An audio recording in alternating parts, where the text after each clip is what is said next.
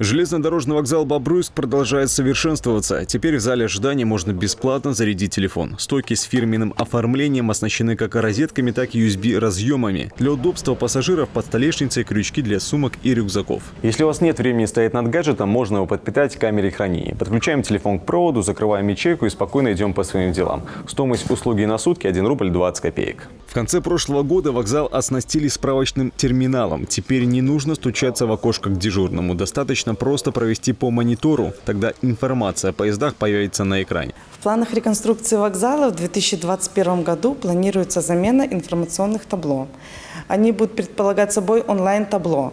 То есть пассажир, не выходя из дома, на сайте Белорусской железной дороги может посмотреть информацию, на какой путь будет приниматься поезд, на котором он хочет отправиться свою поездку. К услугам нелюбителей стоять в очереди терминал самообслуживания. Его популярность растет с каждым месяцем. Только за август аппарат выдал более 7 тысяч квитков. В пользовании техника проста, а это большой плюс. Билеты можно оформить на русском языке, белорусском и английском.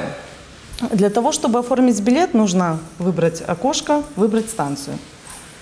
Здесь нужно ввести название станции, куда мы хотим отправиться. Допустим, это будет Минск. Минск пассажирский. Вот. Если мы хотим ехать обратно, Выбираем окошко обратно и выбираем число «когда». То есть сегодня 22 ну, либо в какой-то другой день. На экран автоматически выводится полный билет. Если нужен льготный, необходимо нажать «Изменить тип проездного документа» и выбрать графу «Граждане, достигшие установленного пенсионного возраста». Проезд со скидкой для этой категории, напомним, продлен до 31 октября. Оплата картой, купюрами и монетами. Максим Кембель, Максим Галенко, Бобруйск, 360.